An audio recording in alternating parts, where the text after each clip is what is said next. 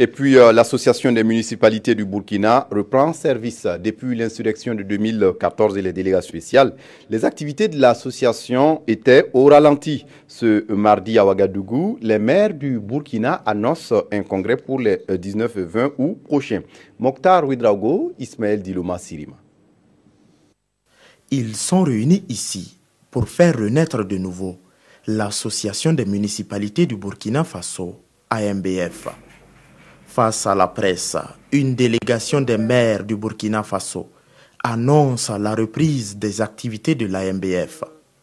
Les 19 et 20 août 2016 à Ouagadougou se tiendra le sixième congrès de l'Association des municipalités du Burkina Faso. Cette rencontre verra les élections des membres du bureau national et régional qui se feront soit par consensus, soit par vote.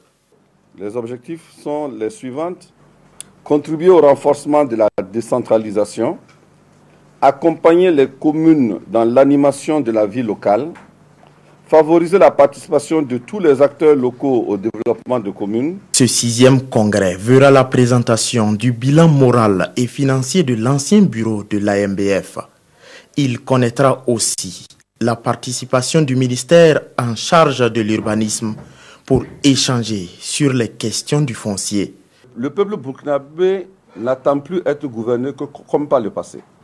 Donc nous sommes obligés de, de, prendre cela en compte et de le, de le mettre en œuvre.